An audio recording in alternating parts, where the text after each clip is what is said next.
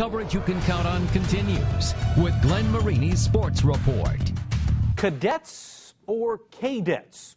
Concordia will try to figure out Bishop Dwenger Friday night in your Highlight Zone game of the week, but figuring out the pronunciation of the school's nickname, even the players themselves aren't quite sure.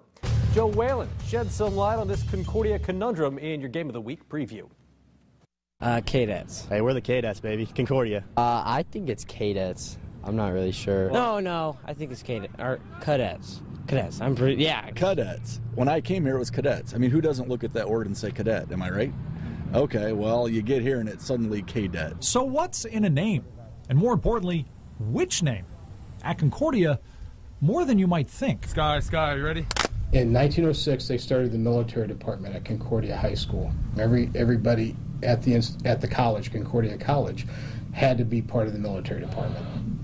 The term cadet refers to anybody who's in a military institution. The high school was founded in 1936 and soon adopted cadets as a nickname. And it was like that pretty much until about the mid 1960s, early 1970s, and there became a divisive time in our history called the Vietnam War. Up to 1972, ROTC was mandatory for the first two years of high school at Concordia.